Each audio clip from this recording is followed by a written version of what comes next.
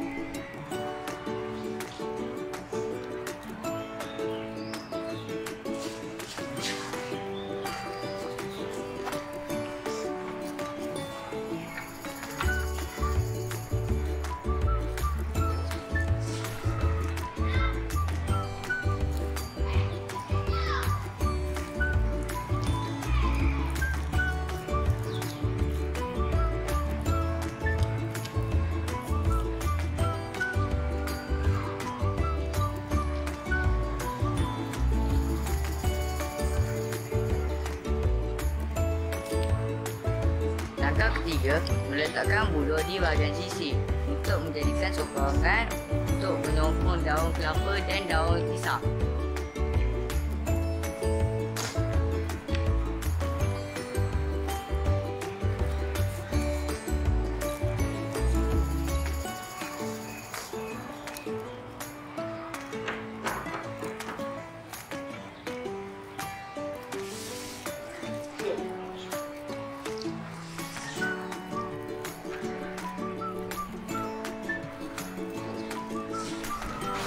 Langkah keempat, meletakkan daun kelapa di bahagian rangka sisi untuk mengelakkan air memasuki ke dalam pondok.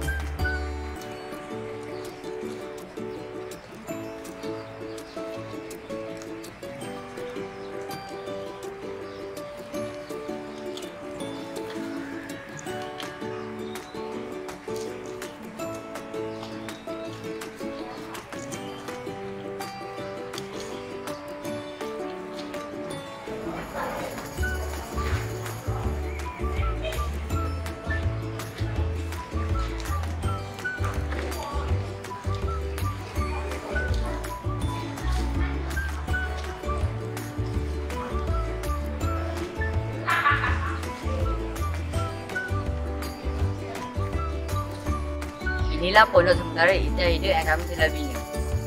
Sekian, terima kasih.